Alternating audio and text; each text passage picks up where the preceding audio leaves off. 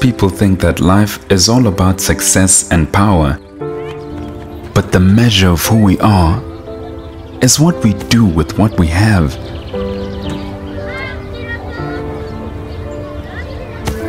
Sometimes it's not all about us.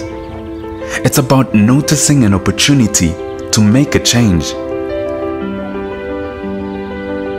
I'm Kabelo Miletwa, and my claim to fame is graphic design.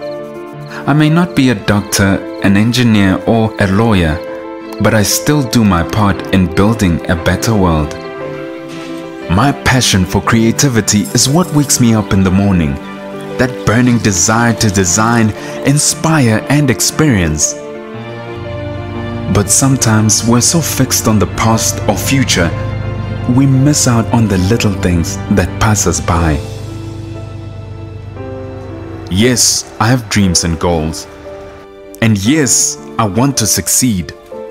But it's what we do with our successes that determines who we are. The greatest lesson I've learned in life is that money is not my power.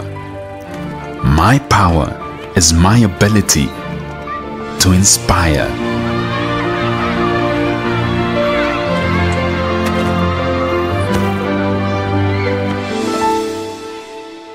You too can make a difference by donating long life milk at participating retail stores.